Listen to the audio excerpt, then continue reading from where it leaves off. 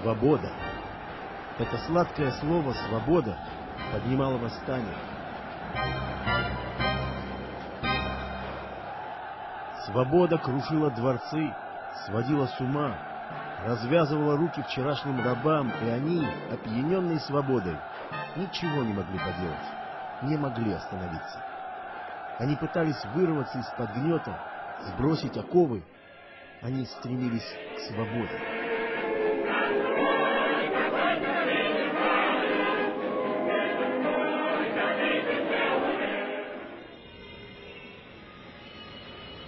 Какой свободы они искали? Что такое свобода? И вообще, в силах ли мы ее найти?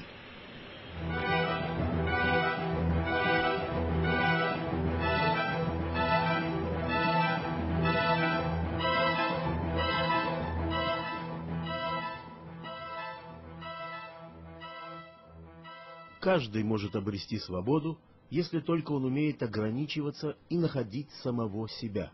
Иоганн Вольфганг Гёте. У каждого человека свое понимание свободы. Одни стремятся к деньгам, то есть в конечном итоге к финансовой свободе. Для других свобода – это власть, возможность свободно принимать решения, влиять на судьбы людей и государств, судьбы мира. Для третьих главное – это известность и популярность, которые обеспечивают им свободу творчества и самовыражения – а есть люди, для которых телевизор и кружка пива – самое свободное состояние, какое только может быть. Но это пока. Пока по телевизору идут те программы, которые человеку интересны, а в магазине можно свободно купить свежее пиво. Когда окружающее общество свободно обеспечит наши внутренние запросы, мы чувствуем себя свободными. Если же нет, мы стремимся переделать это общество так, чтобы стало больше возможностей для удовлетворения наших желаний. И тогда происходят бунты, путчи, восстания, революции и войны. Слезы, лишения, страдания. Когда меняются общественно-политические формации и общественные отношения, власти приходят новые люди, деньги переходят в другие руки – Появляются новые кумиры, новые телевизионные программы и сорта пива. Лишь тот достоин свободы, кто умеет завоевывать ее. Шарль Бодлер. Мы движемся вперед. Наша цель – свобода. Идеальные условия для реализации наших желаний. Так мы это понимаем. Для чего мы напрягались, страдали, расходовали энергию? для того, чтобы свободно наслаждаться жизнью. Но разве существует в нашем материальном мире бесконечное, неприедающееся наслаждение? Нет. Раньше или позже мы присыщаемся. У нас есть деньги, и все, что можно было купить на них в нашем магазине, мы уже купили. Но есть и другие магазины. Мы хотим покупать и там. У нас есть власть, но только над миллионом человек, а их намного больше. И нам очень хочется властвовать над всеми. У нас есть знания, но не обо всем, а нам хочется знать все. У нас есть телевизор, но у соседа экран больше. Мы хотим получать и как можно больше. Получать и наслаждаться. А если не получаем, тогда что? Тогда страдаем и при первой же возможности бежим от страдания к новому наслаждению. Вот так всю жизнь. Мы мечемся между наслаждением и страданием. Получаем наслаждение – счастливы. Начинаем страдать – бежим к новому наслаждению. Делать то, что доставляет удовольствие, значит быть свободным. Вольтер – что же это за сила такая, которая заставляет нас постоянно желать все больше и больше? Ответ прост. Генератор желаний неограниченной мощности – это эгоизм. Он заложен в нас от рождения. Он диктует нам тактику поведения. Он подталкивает нас. И получается, что наша деятельность основана на какой-то внутренней программе, запущенной не по нашей воле, вынуждающей нас действовать именно таким образом и называемой эгоизм. Цель – свобода, движущая сила – эгоизм. Под влиянием эгоизма первобытно-общинный строй перешел в рабовладельческий, тот в феодальный, далее капитализм, социализм, коммунизм.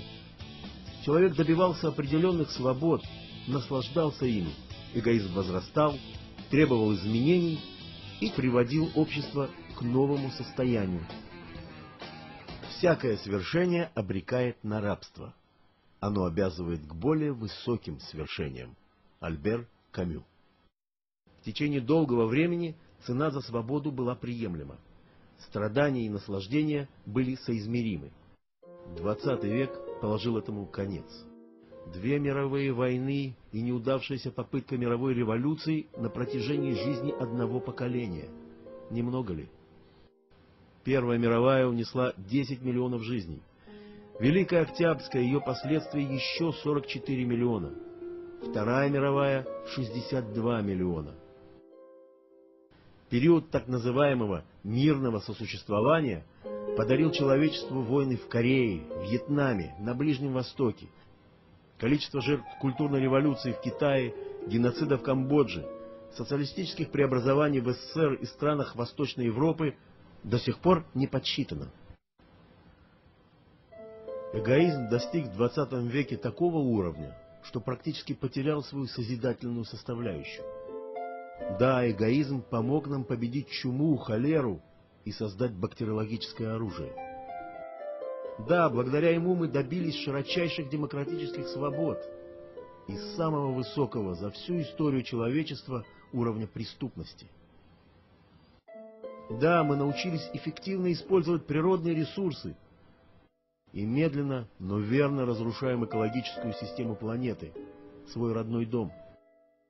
Да, мы так глубоко проникли в тайны вещества, что изобрели оружие, которое угрожает нашему собственному существованию.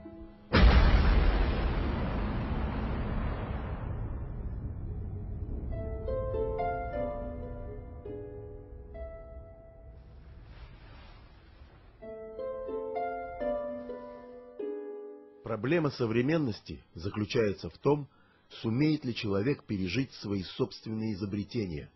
Луи де Броль Сегодня эгоизм привел человечество к очередному ощущению несвободы. В чем же оно выражается? В страхе. Такого раньше не было.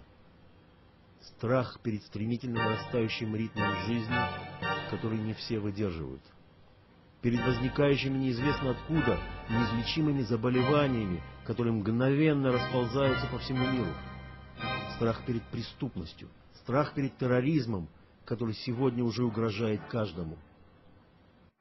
Он проникает во все сферы жизни и не признает границ.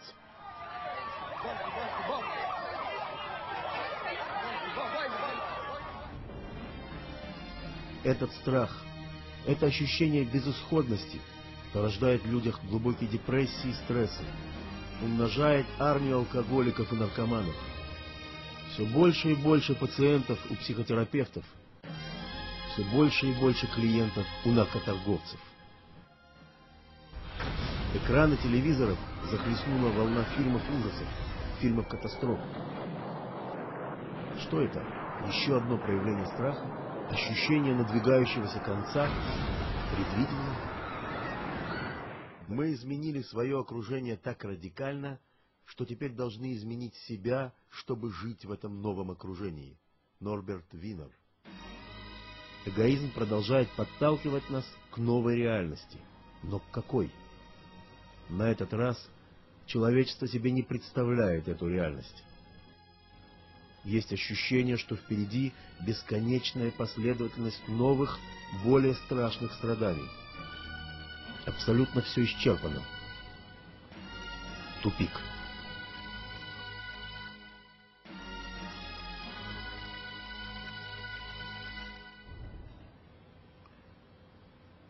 Бедствие умножится из-за ужаса великого. Человек захочет умереть, но не дадут ему умереть. И будет он жить в страшных мучениях. И тогда народы сами начнут искать истину и вернуться к ней. Книга Зор, третий век, главная книга Кабалы.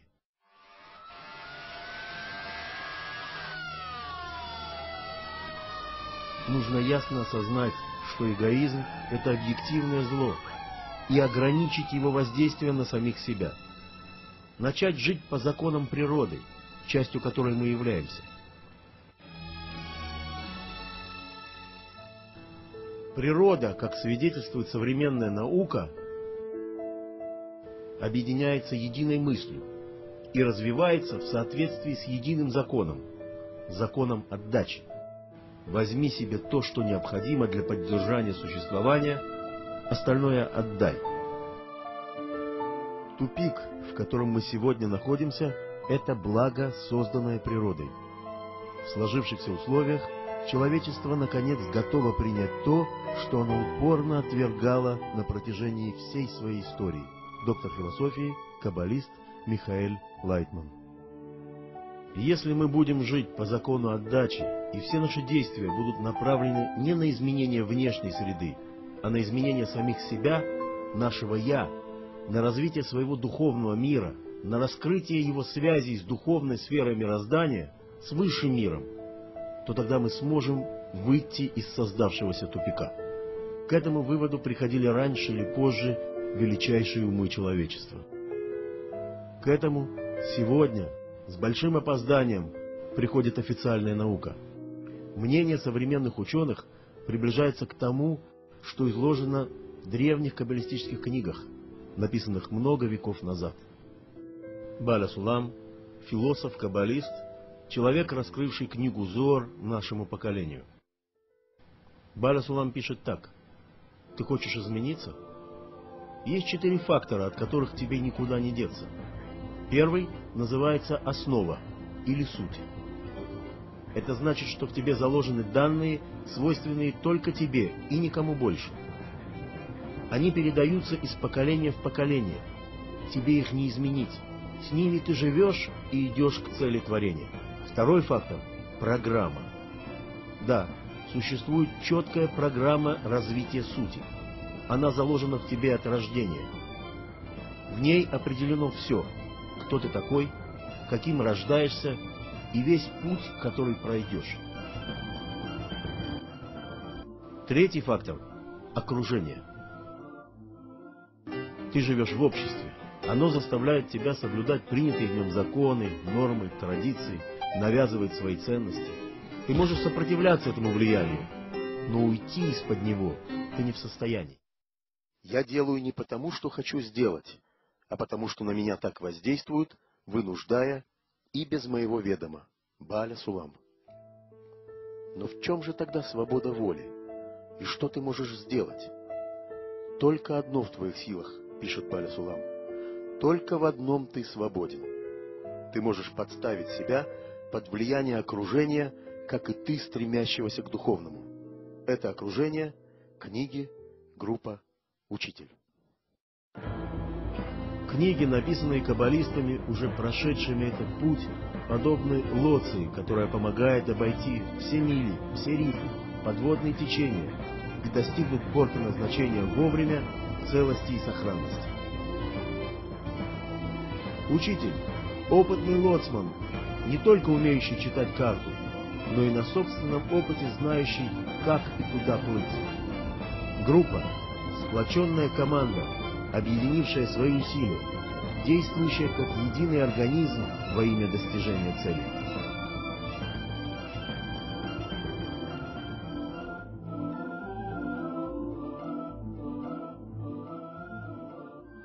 Ты находишься перед входом в сокровищницу. Тебе дали приглашение в вечность, в совершенство. Бааль Асулам.